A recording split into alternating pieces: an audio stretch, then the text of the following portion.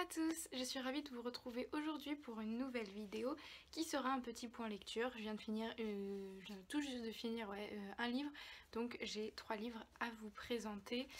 Euh, je suis désolée, aujourd'hui je vais être obligée de vous infliger une autre qualité vidéo, donc du son et de l'image, parce que j'ai oublié mon appareil photo chez, chez moi, à Paris en fait, donc bah je suis obligée de filmer avec mon iPhone donc euh, voilà. Mais je pense que la qualité sera pas trop mauvaise non plus mais bon.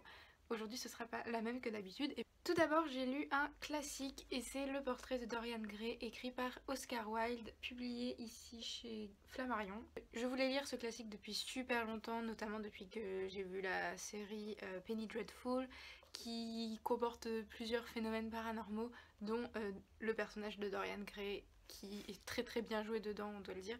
Donc si vous avez vu euh, cette série je pense que vous savez très bien de quoi je parle. Donc cette histoire qu'est-ce que ça raconte si vous ne le savez pas? C'est l'histoire d'un jeune homme qui s'appelle Dorian Gray qui est d'une beauté affligeante. Voilà il est vraiment très très très beau. Euh, tout le monde le trouve euh, incroyable. Tout le monde le trouve très un très bon jeune homme, vraiment même un gentil homme on pourrait dire, hein, voilà, qui est très poli, très bien élevé, euh, très courtois, voilà, clair, toutes les qualités qu'il faut. C'est quelqu'un de très gentil, on dit qu'il a l'âme pure, etc. Donc voilà. Et un de ses amis un jour va faire le portrait de lui et Dorian Gray va décider de le garder pour lui-même. Et en fait, disons que dans l'entourage de Dorian Gray, il va avoir des influences qui ne vont pas... Euh, aller dans un bon sens pour lui, lui qui avait l'âme pure, etc., euh, va tout de suite tomber dans des péchés, dans, dans la vanité euh, et bien plus par, euh, par, la suite. Et en fait, il va se rendre compte que tous ces péchés ne vont pas euh, se voir sur lui-même, mais sur son portrait. C'est son portrait en fait qui va, qui va tout absorber dans sa vie, ainsi que la vieillesse. Dorian Gray ne va pas vieillir, il va garder cette jeunesse éternelle. voilà, donc, donc en gros, ça va être ça l'histoire. Et donc on va voir on va voir sa progression euh, tout au long du livre, donc jusqu'au point final. Donc là je ne vais pas vous en parler évidemment. Et c'est un livre que j'ai tout simplement adoré, vraiment j'ai beaucoup beaucoup beaucoup aimé euh, ce classique. Parfois les classiques on peut aimer sans plus, hein, c'est juste très bien écrit donc moi je, suis toujours obligée d'aimer un classique. Euh, mais là vraiment j'ai beaucoup aimé l'histoire, en fait j'ai beaucoup aimé bah, la trame psychologique, on va dire, parce que c'est tout le cœur euh, le cœur du sujet.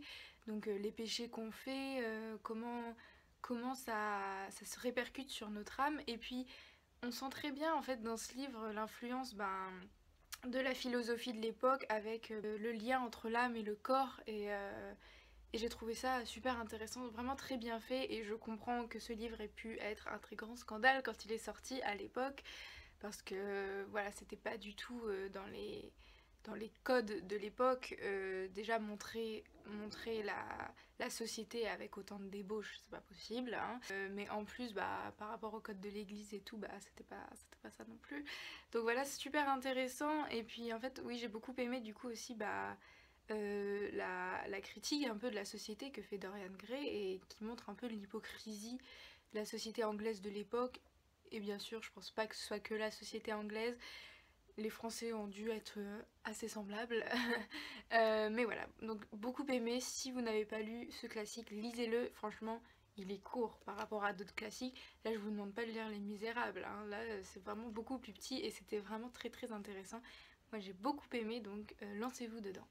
Ensuite, j'ai lu le tome 5 ou le tome 2 de la deuxième saison euh, d'Insaisissable, donc Provoque-moi, écrit par Taïré, ma publié chez Michel Lafon. Euh, mon avis sur ce livre ne va pas être une surprise pour vous. Je l'ai adoré. En fait, ce que j'aime beaucoup dans cette nouvelle saison d'Insaisissable, c'est que l'auteur arrive à nous amener beaucoup plus loin que ce qu'elle avait fait dans les trois premiers tomes. Et en fait, elle a réussi euh, à... Elle a réussi le challenge en fait de continuer une histoire qui normalement devait se finir au tome 3. Alors évidemment la fin du tome 3 est une fin super ouverte donc on pouvait y faire beaucoup de choses.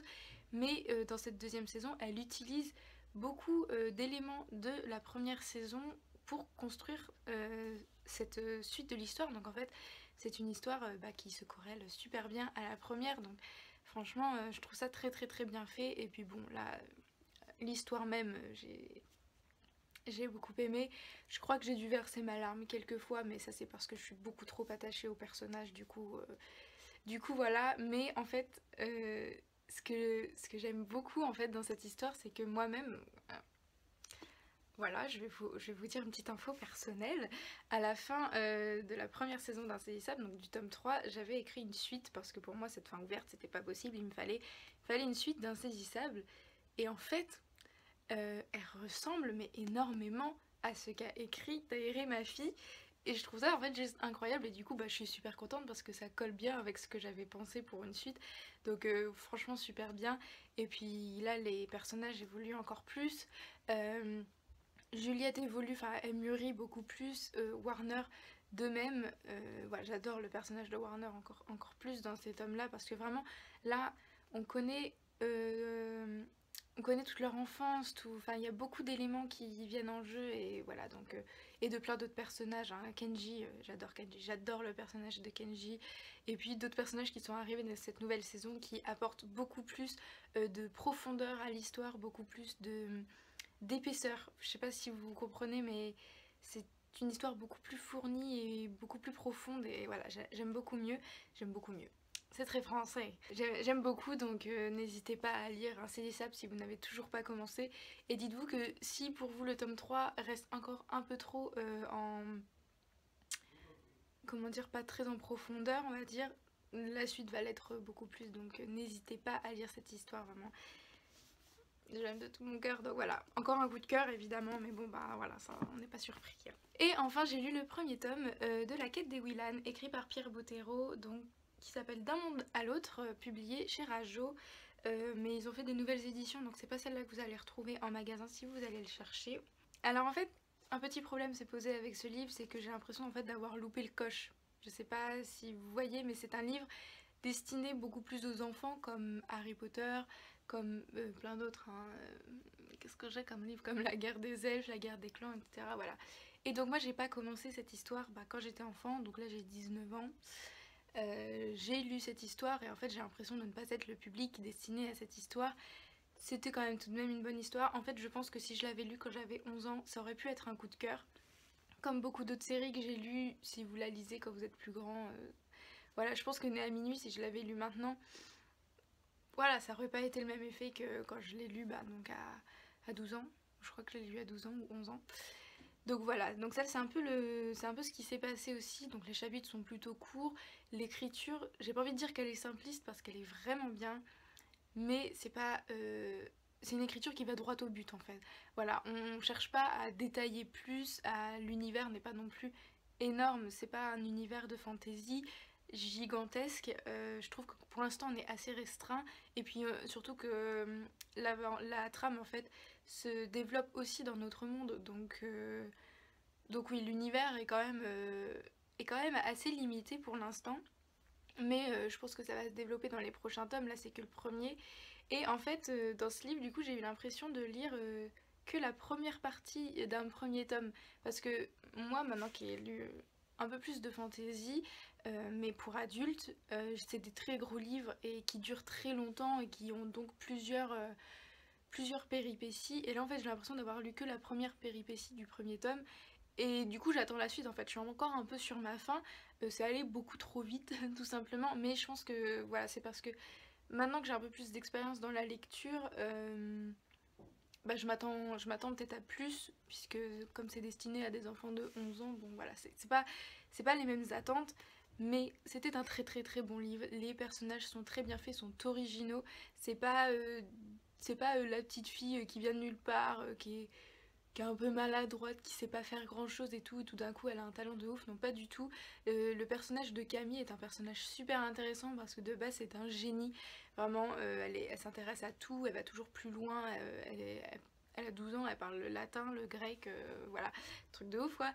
Et donc c'est un personnage vraiment fort en fait de, de base, et puis son coéquipier, je vais pas me souvenir de son nom, ah là là. Donc Salim, son, ami, en fait, euh, est quelqu'un de très très marrant, euh, qui prend les choses beaucoup plus à la légère qu'elle et du coup qui renverse un peu la... Enfin, pas qui renverse la situation, mais qui rend la situation moins lourde en fait. Et voilà, c'est quelqu'un de très léger et ça, c'est euh, j'ai beaucoup apprécié dans le livre.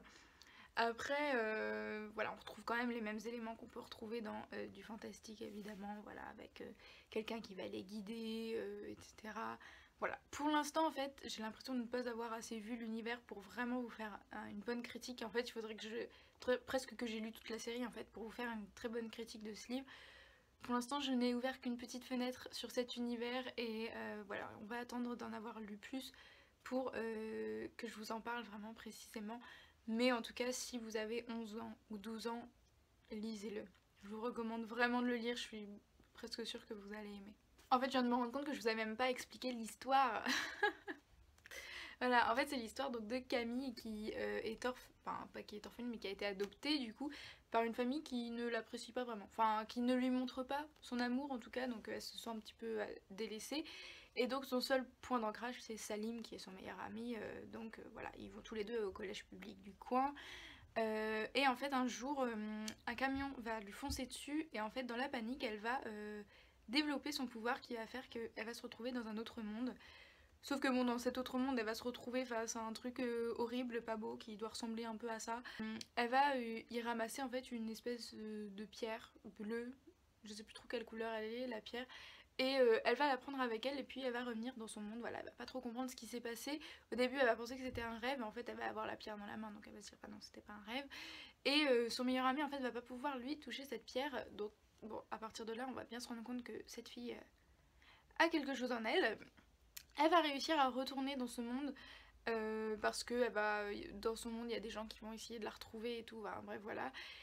Et en fait elle va se rendre compte qu'elle est au milieu d'une grande guerre euh, dans l'autre monde euh, et que en fait elle a des pouvoirs incroyables et euh, elle va se retrouver connectée avec des gens qui ont été figés à tout jamais par les méchants bon un truc comme ça et du coup il y a une quête hein, voilà qui va se faire évidemment c'est un peu la, le plan le plan basique voilà, pour de la fantaisie. Donc, je vous recommande. Je sais pas si j'ai été très convaincante pour ce livre, mais vraiment, je vous le recommande parce qu'il est bien. C'était pas du tout un mauvais livre même si ça n'a pas été un coup de cœur. Donc voilà, j'espère que cette vidéo vous a plu et euh, je vous retrouve bientôt pour une autre vidéo. Bisous